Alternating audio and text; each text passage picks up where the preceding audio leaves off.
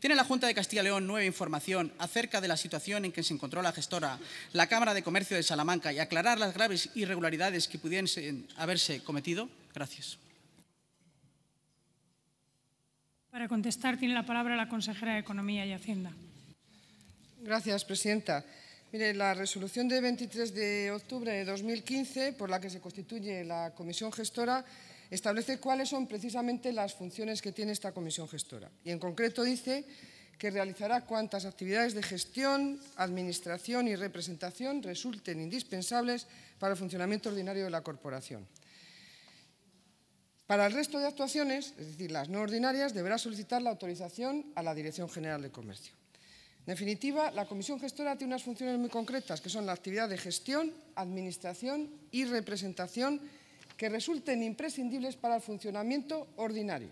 Y es lo que se está haciendo. Eh, y solamente mientras los órganos de gobierno mm, que deben funcionar con normalidad estén en suspenso. ¿Y por qué se intervino la Cámara? Entre otras cosas, porque era ingobernable, porque no había gobernabilidad en la Cámara de Salamanca. Se quedó prácticamente al final sin, sin consejeros, no presentó cuentas y hubo que intervenirla. Muchas gracias.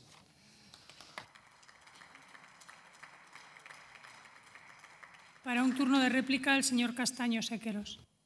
Pues no estoy de acuerdo y usted en su momento tampoco, porque yo tengo las declaraciones, usted sabe perfectamente lo que dijo, dijo que había que ver lo que hay y es más. Eh, si es que de todas formas, yo no quiero acusarla a usted de, inacción, no pretendo eso, además sé que usted eh, tiene muy buenas intenciones, pero tiene que entender de la necesidad que tiene una provincia como Salamanca de tener una Cámara de Comercio, eh, una buena Cámara de Comercio que desempeñe una gestión honrada, que se aleje de los intereses particulares y de promoción de cualquier presidente, de cualquier presidente para centrarse en un interés general, en un interés esencialmente público y que haga, también de palanca de crecimiento para una provincia que, como usted bien sabe, está eh, con graves problemas de despoblación rural, con emigración juvenil y también eh, con mucho paro.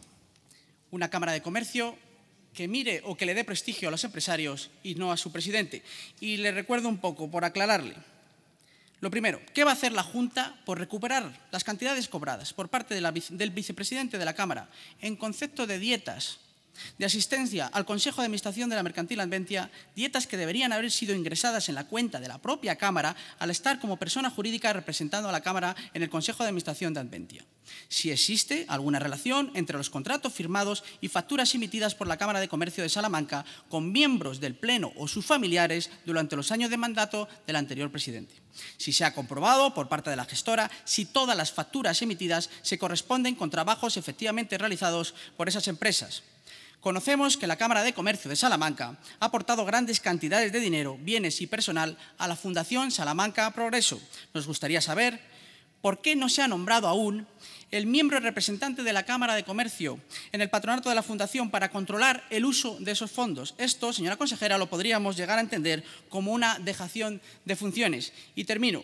Me gustaría que usted me aclarara si quiere apostar o no por las cámaras de comercio porque no se pueden mantener de la forma que se están manteniendo, de una forma, por decirlo de alguna manera, virtual.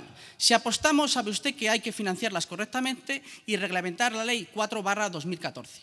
Y si no, hagámosla desaparecer. Muchas gracias, señora consejera. Para un turno de dúplica tiene la palabra la consejera de Economía y Hacienda. Muchas gracias, presidenta.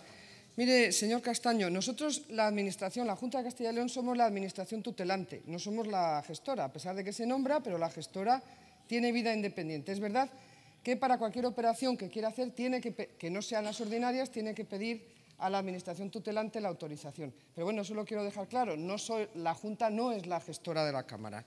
Estoy de acuerdo en lo que ha dicho del papel fundamental que tienen que tener las cámaras de comercio y evidentemente la Junta de Castilla y León apostamos por las cámaras de comercio, pero tengo que, le tengo que recordar que eh, hubo un cambio en la ley estatal, que desapareció el recurso cameral y ese es el origen de todos los problemas que están teniendo ahora mismo las cámaras. Que estamos trabajando con las propias cámaras para hacer una ley eh, autonómica de cámaras de comercio, pero que no es sencillo legislar cuando no hay, cuando no hay recursos con los que poderlos financiar como existían antes. Y dicho esto, respecto de la Cámara de Salamanca, lo más importante es que lo que hicimos, eh, evidentemente, es eh, contratar una auditoría externa, que todavía eh, no nos ha dado los resultados definitivos, pero es lo primero que hicimos, que hicieron, perdón, la gestora, contratar una auditoría externa. Cuando estén presentados los trabajos, pues sabremos qué problemas o cómo están las cuentas de la Cámara del año 2015, pero todavía está pendiente también de aprobarse la liquidación porque no está hecha la auditoría de cuentas. En cuanto a las medidas que se han adoptado, evidentemente, hasta que no sepamos cómo están las cuentas o no sepan cómo están las cuentas, difícil adoptar medidas. Pero es verdad que se han tomado algunas.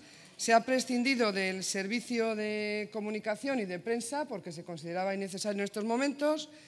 Se está trabajando para eh, sacar a licitación pública, ya ha salido alguno, una serie de contratos que se tenían con la Fundación Salamanca Progreso, Estamos trabajando porque entendemos que hay que sacarlo a licitación pública, porque estos contratos pueden salir a mejor precio a la Cámara de Salamanca y no tener que gastar el dinero de todos.